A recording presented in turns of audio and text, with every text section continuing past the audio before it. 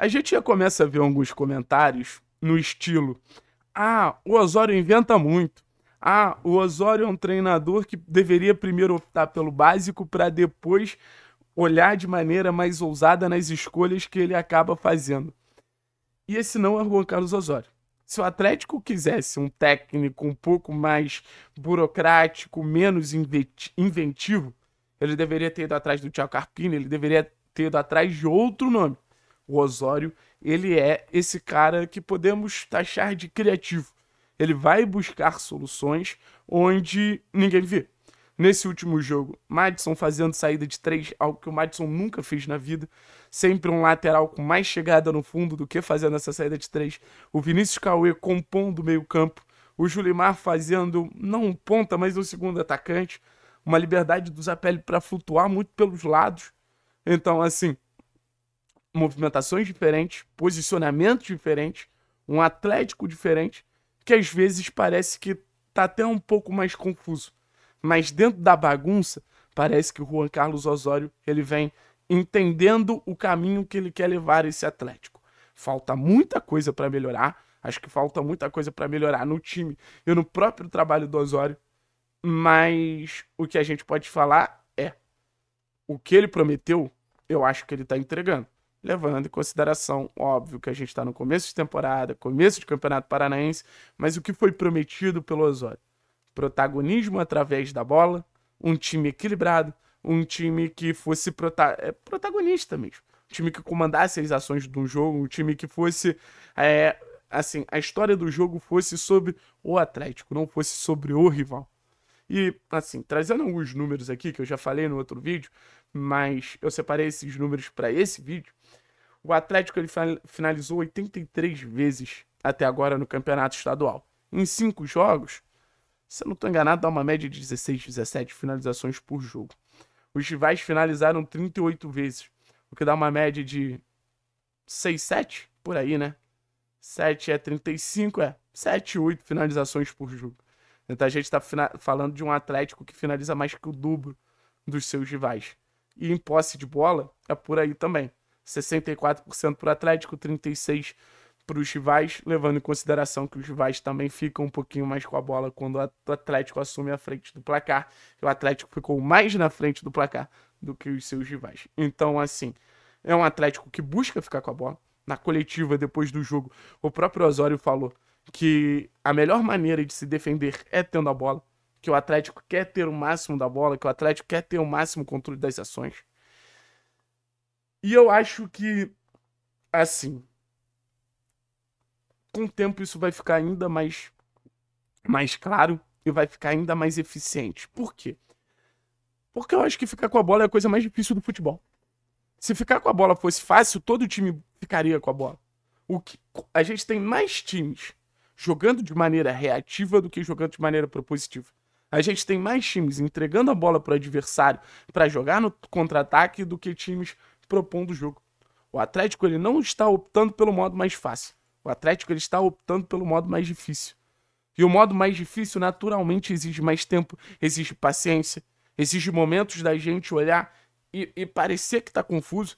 E eu acho que o Osório ele precisa primeiro dessa confusão para ir esclarecendo movimentações, posicionamentos. E eu vou falar para vocês, desde o jogo contra o Maringá, tanto contra Galo Maringá e contra CA Norte, eu vi um Atlético um pouquinho melhor posicionado. Então, o trabalho do Osório não é para agora. O trabalho do Osório não é para ser campeão paranaense. O trabalho do Osório é para criar um modelo de jogo, criar uma estrutura, criar posicionamentos para a partir disso a gente ter no Campeonato Brasileiro, na Copa Sul-Americana, na Copa do Brasil, um time com capacidade de independente do adversário, competir, ser forte a partir da bola e já ter esses movimentos na cabeça. Ano passado, eu vibrava, e eu não vou mentir para vocês não, a cada vitória do Paulo Turra no campeonato estadual, porque eu acreditava que ele estava lapidando um time. O Turra ele não se mostrou convicto nas principais competições e eu acho que foi isso que acabou derrubando ele. Eu acho muito improvável que o Osório ele não mostre a convicção que a gente precisa que ele tenha. A gente precisa que o Osório também não mude rotas bruscamente ao longo da temporada. Se o Osório ele quer esse 3-4-2-1, se o Osório quer esse esquema com a saída de 3 mais 2, dois jogadores abertos, dois na entrelinha, um centroavante, ele precisa ir até o final. Porque ele tá plantando a sementinha. Você já viu plantar a semente de tomate para nascer abobrinha? Tu já viu plantar semente de manga para nascer maçã? Não. O Osório, ele precisa plantar semente de maçã para nascer maçã. Então ele não pode mudar de ideia. Ah, não, agora eu quero comer manga. No final das contas, ele até pode. Mas, de alguma maneira, ele precisa, pelo menos, que o plantio da maçã tenha ensinado algo a ele. Então, assim, a minha expectativa é essa.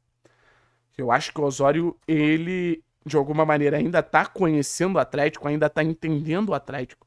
Não é um Osório que está 100% adaptado, não é um Osório que está 100% com clareza do que é o Atlético. E quando eu digo o que é o Atlético, eu falo do tamanho do clube, dos objetivos da temporada, do, dos jogadores, das características dos jogadores.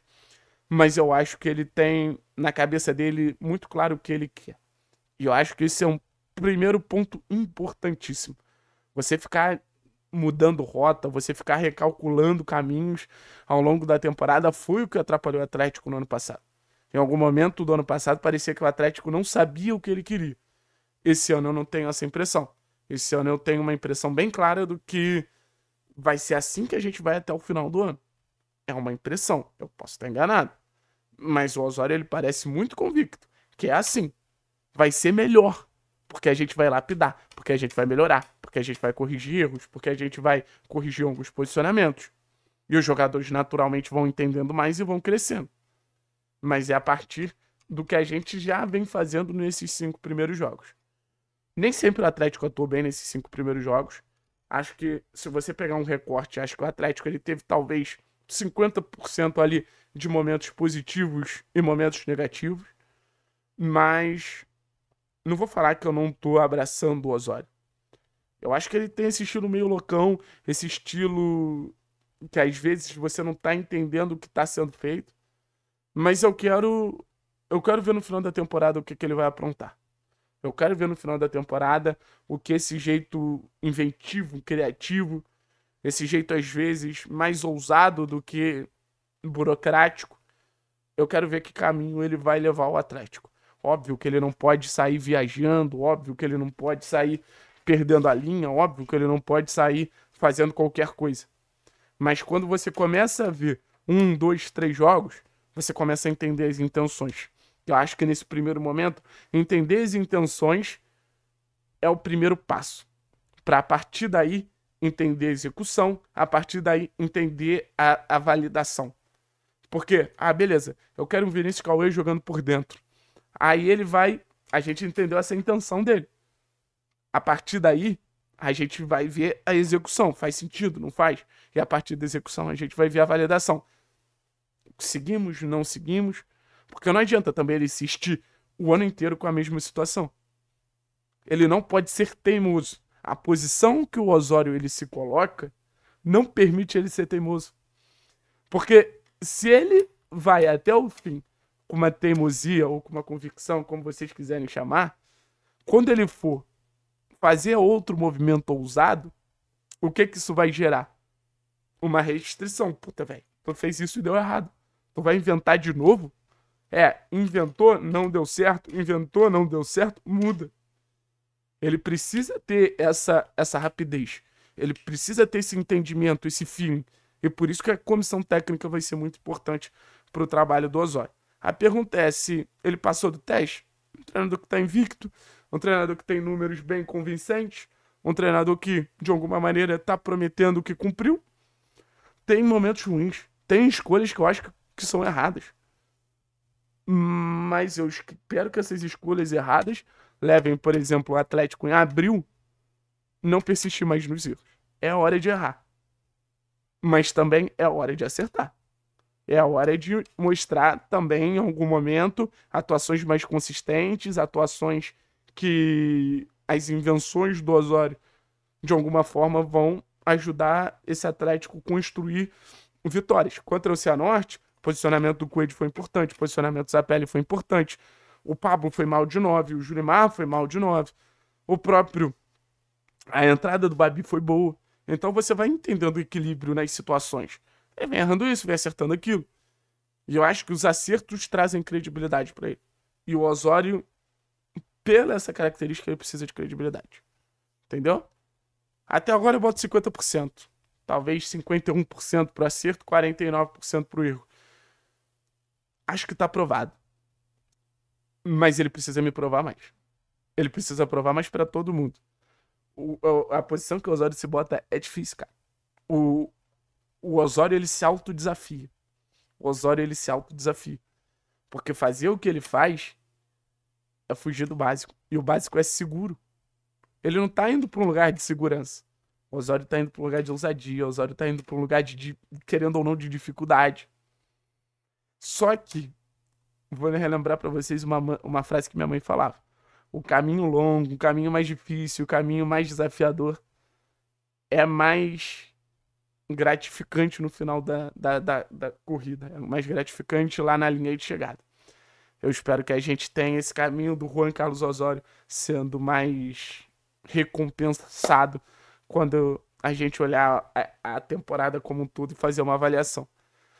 A gente precisa de um treinador de peso. A gente precisa de um líder, a gente precisa de um cara que motive o grupo, a gente precisa de um cara que conheça o grupo. Eu espero do fundo do coração que essa cereja do bolo do Atlético seja o Juan Carlos Osório. Porque ficar mudando de técnico temporada atrás de temporada não dá mais, cara. Eu quero um trabalho de longo prazo. É tudo que eu peço para vocês. Um trabalho de longo prazo.